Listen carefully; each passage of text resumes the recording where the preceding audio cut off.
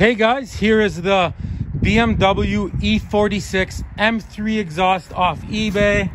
Um, are these things mufflers or are they just straight pipes?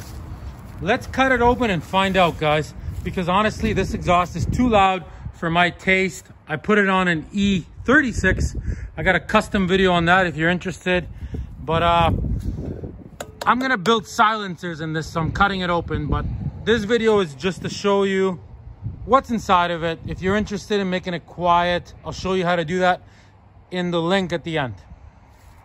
Okay guys, so inside of it, there was all this fiberglass wrapped around this. So this is called a resonator. So the way it works is exhaust fumes flow through without any restriction.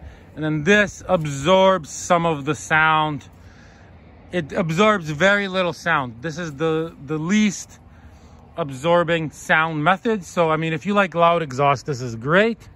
But I'm going to build a silencer inside of this, guys. If you want to see that video, click right here, guys. But now you know what one of these looks like inside. So there's one muffler there and one muffler there. Thanks for watching, guys.